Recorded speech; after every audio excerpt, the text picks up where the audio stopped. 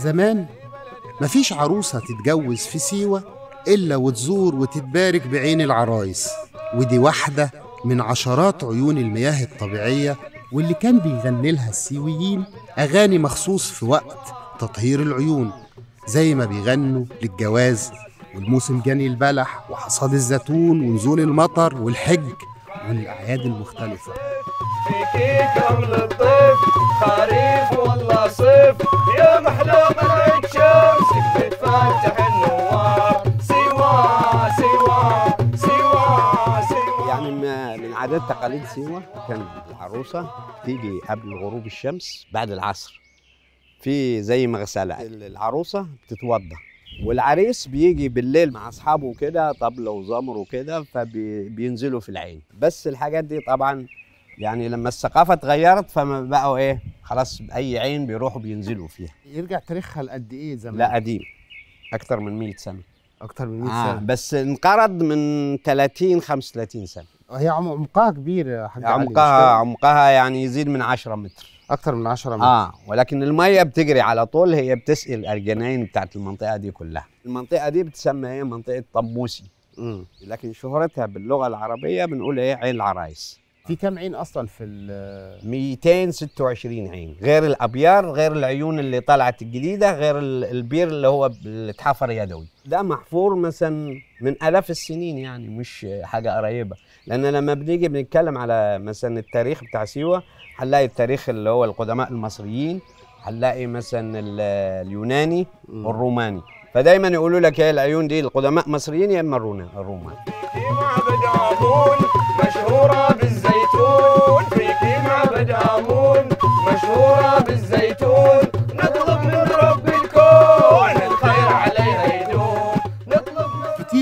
المواقع الأجنبية بتصنف سيوة ضمن أكتر تسع أماكن عزلة في العالم.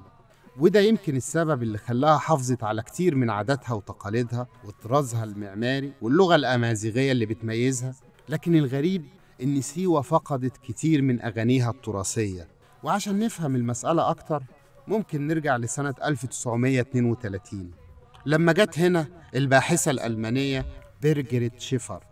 وكررت الزيارة للواحة سنة 33 واستفادت من إتقانها للعامية المصرية بحكم نشأتها في اسكندرية وعملت دراسة بيصنفها بعض الأكاديميين على إنها أعمق وأشمل ما كتب من دراسات علمية عن الموسيقى الشعبية المصرية.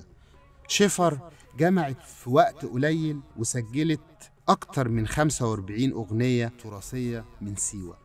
في زيارتنا للواحة حاولت أكمل جمع 15 أغنية بس معرفتش مشهورة بالزيتون نطلب من رب الكون الخير يدوم.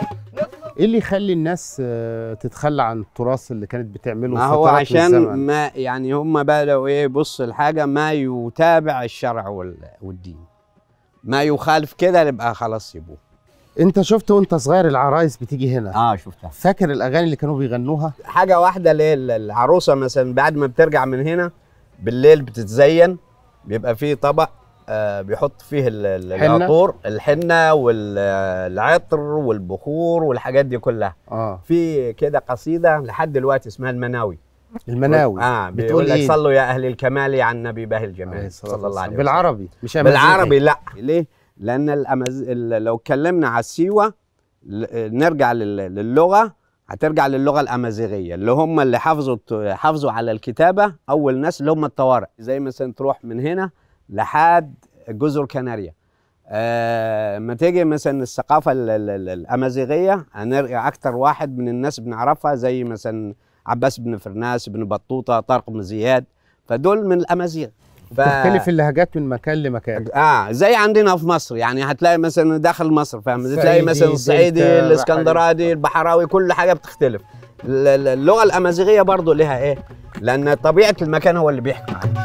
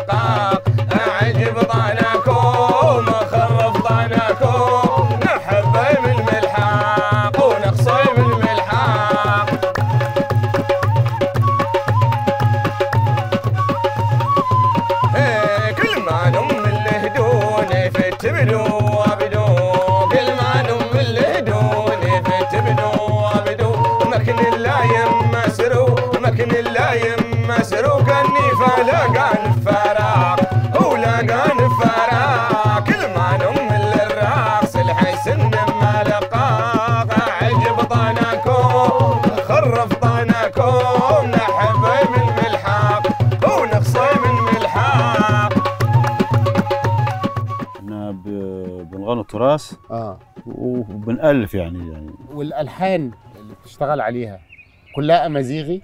أمازيغي آه. آه. ودي ألحان ثابتة واحدة؟ لا يعني مثلا دلوقتي أنا عندي واحد مثلا ي- يألف أغنية. امم أنا ألحن الموسيقى بتاعته قول لي صح أو غلط. إيه. ما عادش في أفراح سيوي؟ لا. كتير بيبقى فيها فرق سيوية. لا لا. زمان كان في بيبقى في ال... عند البيت العريس. آه. بيبقى في فرح ثلاث أيام. ثلاث أيام. كلهم فيهم غنى. كلهم في غنى آه. آه. آه والعريس بياخدوا زفة من العين العرايس اللي هنا دي آه. لغاية البيت. آه. يبقى بالسلمية والطبلة. إنما دلوقتي ليه؟ إيه اللي اختلف؟ آه، قال لك عيب ده بقول لك حرام. في ستات بتغني في سيوة؟ في ستات بتغني بس دلوقتي ما بتغنيش تاني لأن بتغني في الأفراح بس يعني في مع النسوان. مع السي... الست... مع السيدات. الستات قصدي يعني. آه. بتألف وب- وبتغني يعني. هي اللي بتألف مش مصديبهم هي اللي بتألف. ودول ما بيطلعوش للمجتمع ما بيغنوش قدام العامة. لا مع مع نفسهم بس. من زمان نفس الوضع ده ولا اختلف؟ من زمان عالي د- يظهروا. من زم- زمان خالص يظهروا إنما دلوقتي لا. انت عملت فرقتك سنة كام؟ بدأت إزاي وتجمعتوا إزاي؟ بداية أعمل فرقة تلقائية في 98 قبل كده كنت شغال مع الله يرحمه الحاج داود حبوب وادي ما صير كان جلس مطاون غير أقل تلاقي كثر النجمة فاتت والحصرة يا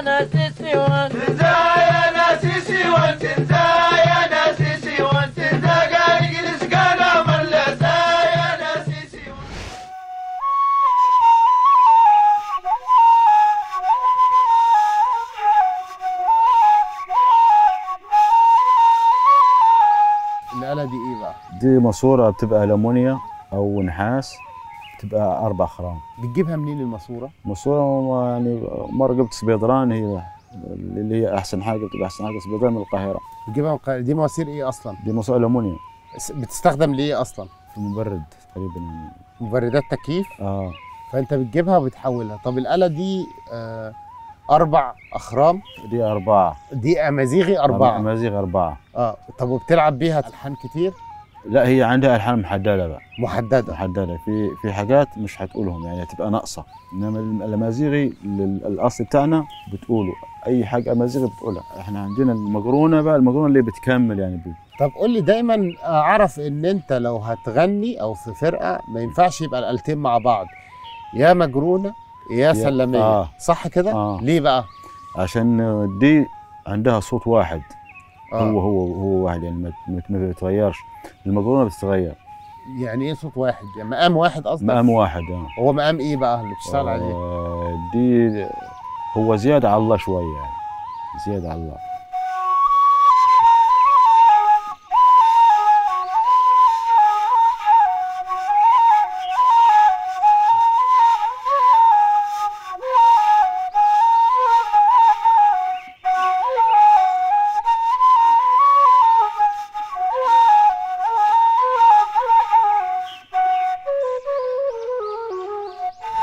الموضوعات اللي بتناقشها الأغنية السيوية الأمازيغية إيه؟ أغاني مثلا عن النخيل؟ عن عن الحصاد يعني. على الحصاد؟ آه. أغاني العرس؟ غير العرس؟ آه. آه. مع اللي هي؟ رأس الزقالة. آه اللي هي الرقصة اللي هي بال زي بتاعت ما- الجريد؟ آه، لا غير غيرها. غير غير بتاع الجريد آه. الاشبال جميقة طراغي الاشبال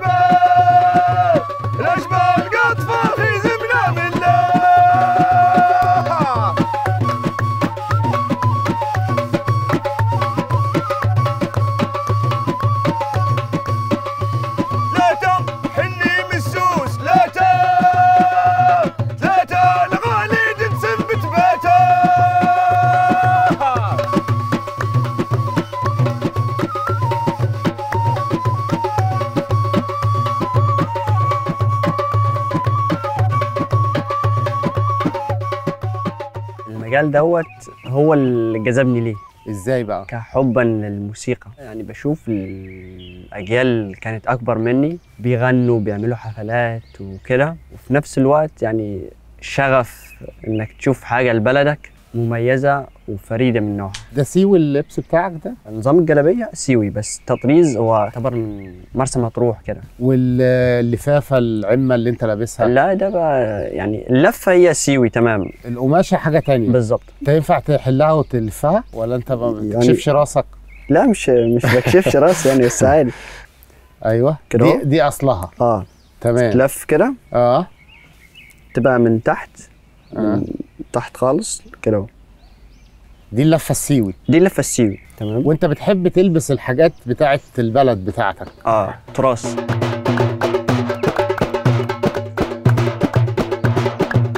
إيه اللي جذبك للإيقاع تحديدا للطبلة تحديدا؟ الإيقاع تحديدا بص هو يعني بيديك روح من الحاجات الجميلة اللي بتطلع طاقتك فيها.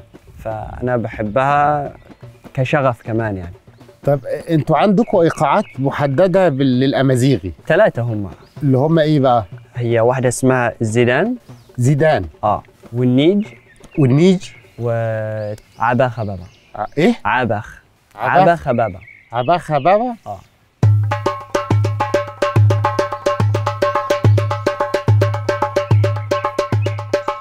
دي بقى الزيدان. تمام. تمام؟ آه.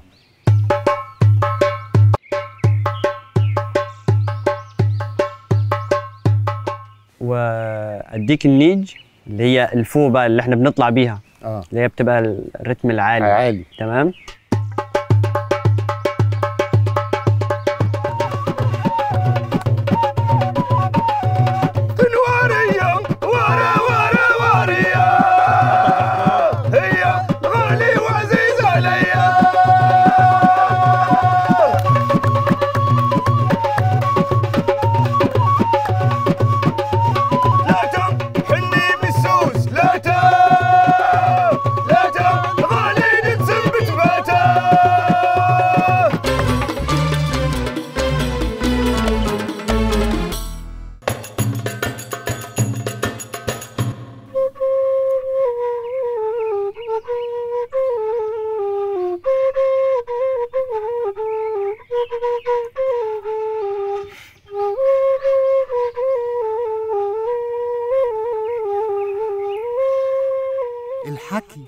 فن سماعي قديم كان بيمارسه أهالي سيوة بشكل اعتيادي يومي قدام البيوت على المصاطب في القيلولة وقت العصاري بداية المساء كان هو الوسيلة الوحيدة مع الغنى للتسلية قبل ظهور التلفزيون والإنترنت.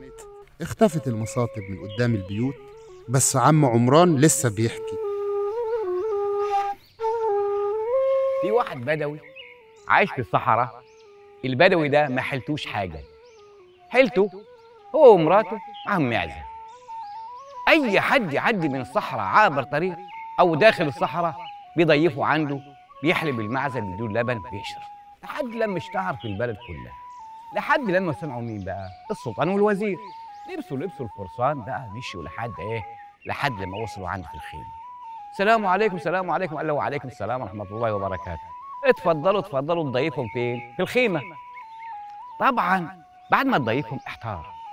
دخل بيقول لمراته بقول لك إيه؟ قلت له نعم. قال له ده سلطان ووزير يعني مقامه مش لبن هعمل إيه يا ربي عمال أحتاس يعني. المهم عمل إيه؟ عمل إيه؟ راح ذبح المعزة اللي حيلته عمل لهم وليمة كبيرة جدا. قعدوا اتغدوا أو خدوا واجبهم ومشوا. طبعا قاعدين حاطين الراجل ومراته حاطين إيدهم على خدهم. هنعمل إيه يا رب؟ هنعمل إيه؟ وهوبا قامت عاصفه جامدة جدا هوا. خدت الخيمة طيرتها بعيد. قعدوا لا معزه ولا مأوى قاعدين في اللي هو كده. طبعا الراجل بيقول لمراته بقول لك إيه؟ نعم. ما تيجي تشد الخيمة هاتيها عشان نصبوها تاني. قالوا لا أنت الراجل هات الخيمة. بيشيل تراب بيشيل تراب بيشيل تراب من تحت الخيمة. وهوبا أنا زغرتي يا ولية. زغرت إيه؟ قال لك كنز كنز وذهب وهم طلعوا الذهب اللي تحت الخيمة باعوا الذهب. بقى معاهم فلوس كتيرة جدا. طبعا هنعمل إيه؟ نرجع مكان. رجعوا مكان الخيمة. قال لها بس بدل الخيمة هنبنوا سرايا. راح عملوا سرايا كبيرة جدا. أي حد ماشي من هنا بتضيفه بجد المرة دي. توتة توتة خلصت الحدوته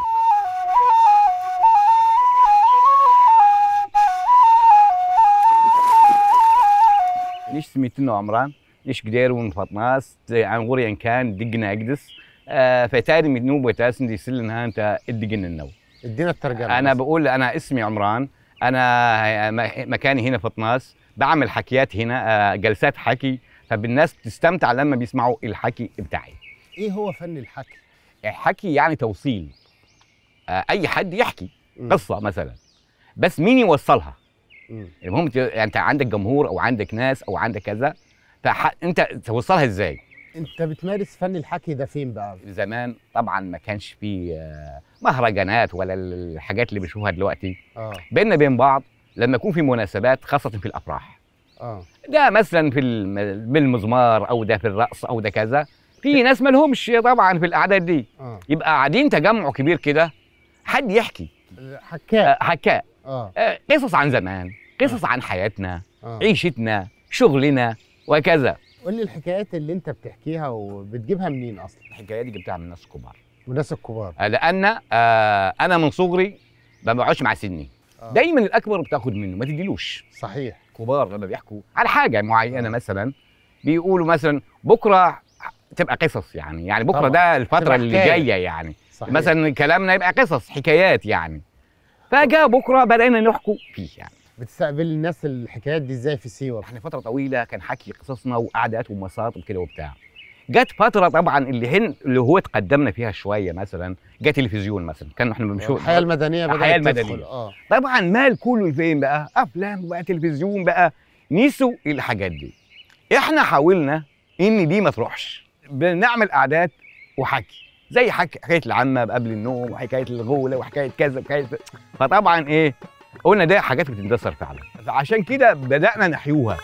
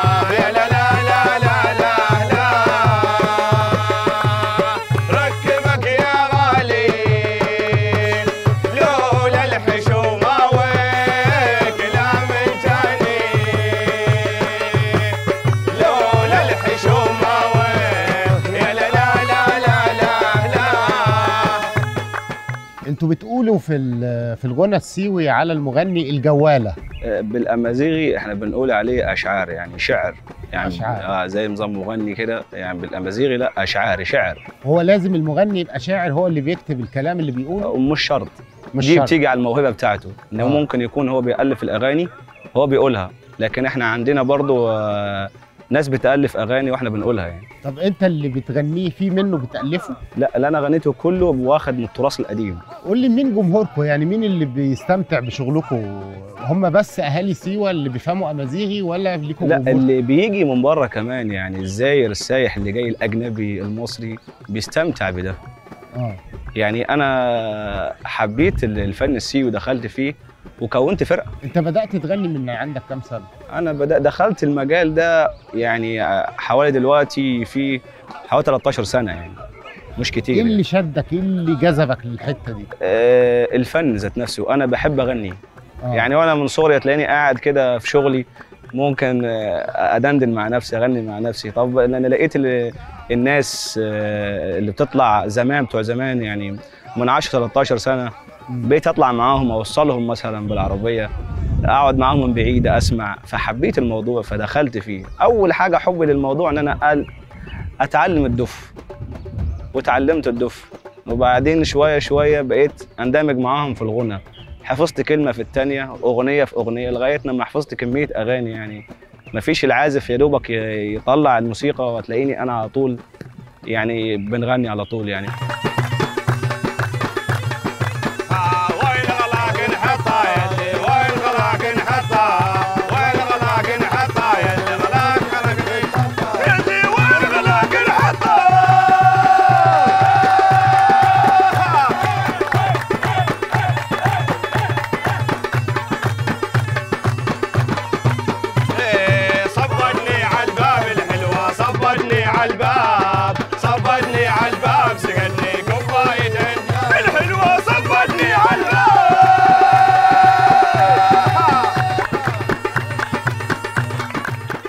حافظ كام أغنية امازيغيه يعني من حوالي 8 9 أغاني يعني. 8 9 أغاني. آه.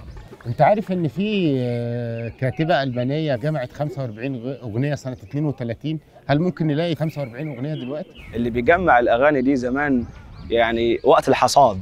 وقت الحصاد الناس الناس لما بتيجي تحصد واحد بيكون في النخلة وتاني في النخلة التانية. هو عمالين بيحصدوا ده بيقول ده بيقول كوبليه والتاني بيرد عليه بكوبليه يعني. فتجمعت بكده يعني تجمعت الأغاني بكده.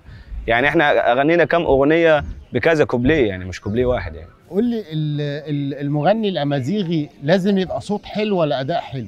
الأول لازم يكون الصوت طبعا عشان تغني على السلمية وتغني على المزمار وتغني على مثلا مزمار الصول يعني لازم تكون طبقات الصوت. آه. مش غنى وخلاص عشان انت ممكن تتعب العازف. وأنت كمان بتشتغل على طبقات عالية. آه ما أنا بشتغل معاه على هو اللي اشتغل بيه أنا بشتغل معاه عشان هو ممكن في الغنى وهو بيعزف ممكن تتعبه. تتعبه ذات نفسه هو. بس الجمهور أو باقي الفرقة بيرددوا معاك. يعني ده جزء أساسي من آه، الغنى. في في أغاني منفردة إن أنا أغني هم يردوا. آه وفي لأ آه في أغاني هي لازم كلنا مع بعض.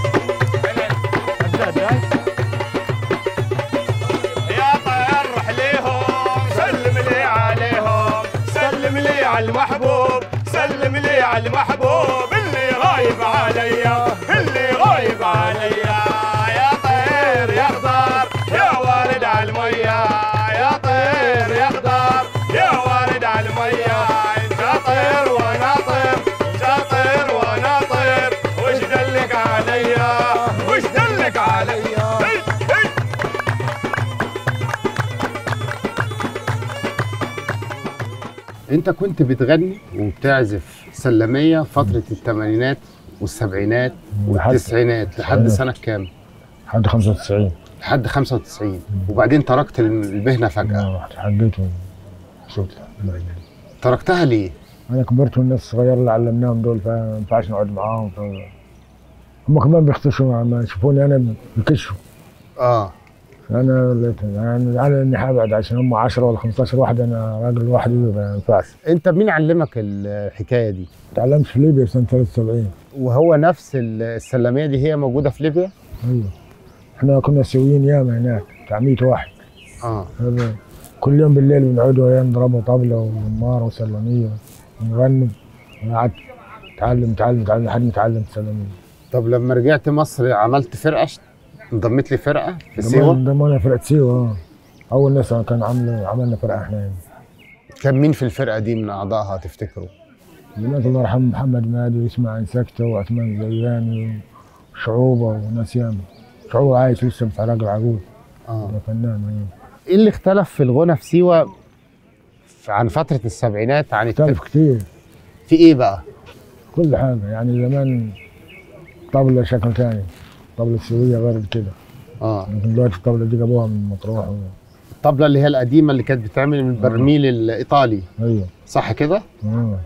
فن مش واحد. زمان شكل دلوقتي شكل زمان ما بيخلصش كلمة عربية خالص. كله آه. كله مزيغي. كله امازيغي آه. آه. دلوقتي بقى يخلطوا. المرة زمان كان شكل دلوقتي شكل بس السلمية زي ما هي. سلمية هي بس كمان في الحفلات نفسها قلت يا عم أحمد. دلوقتي. دلوقتي قلت آه. زمان الناس يعني إيه؟ بيبقى فاضل الحاجة دي. يعني زمان الفن ده بعد العصر نروح الغيط كله إيه عارف إن إحنا نعود شوية كده بعد كده يعني نشتغلوا طبلة وزمارة وسلمية دلوقتي لا كل الناس بتطلع شغل وبتاع مش فاضية في خرسانات وزمان ما كانش في حاجات دي. شغل عهد الظهر العصر آخرك المغرب.